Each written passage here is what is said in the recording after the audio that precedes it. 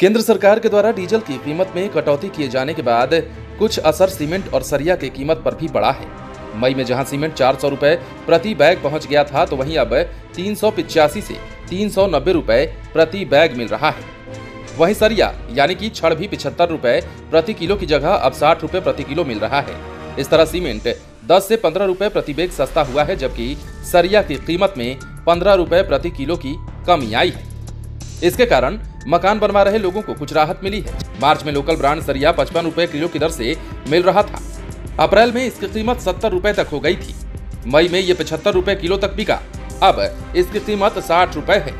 Branded सरिया का भाव भी 10 से 12 रुपए प्रति किलो कम हो चुका है।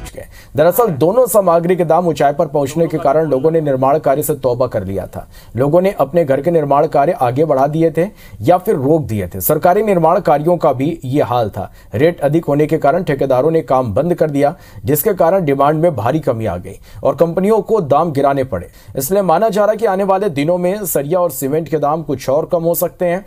स्थानीय लोगों के मुताबिक दाम कम हुए हैं, लेकिन अभी भी खास राहत नहीं मिली है दाम और कम होने चाहिए।